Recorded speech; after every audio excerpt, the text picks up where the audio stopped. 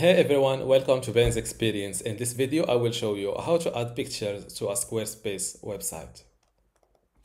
This is squarespace.com and first I need to log in to my Squarespace account by filling my email address and password. Click on this website button below the Squarespace site you want to add pictures on. Go to Pages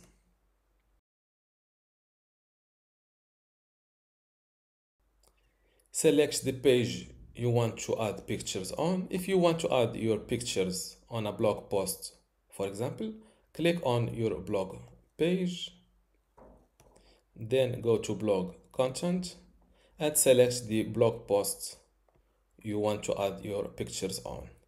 Let's go with this blog post, for example. First, you need to click on this edit button to go into the editing mode select where you want to add your picture. Let's go with this place for example. Click on this plus icon and select image. Click on this plus icon again. You can upload it from your computer select it from your library or browse stock images. I will go with upload it from my computer Let's upload this image, for example. To add a caption to your photo, click on caption and select between below overlay or overlay on hover. You can add a link to your photo, just insert it here. You can use and you can give your image an alternative text, just describe it here. You can also alternate file name after adding your image, click on this save button from this corner to not lose your editing and to give your website a visit.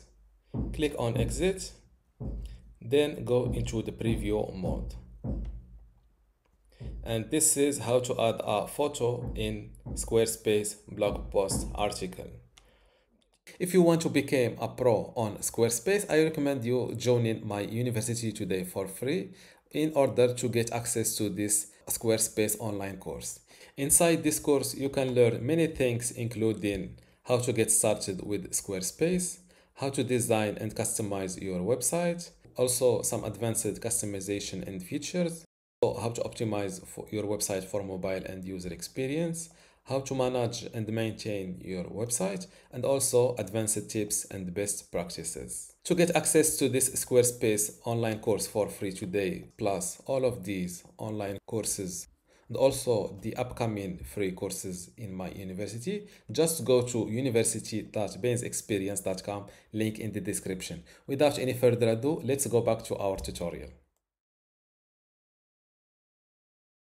Click on one of your website pages then click on this edit button from the top.